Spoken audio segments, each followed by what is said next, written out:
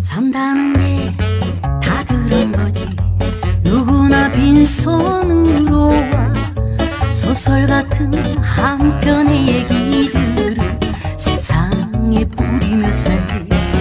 자신에게 실망하지만 모든 걸잘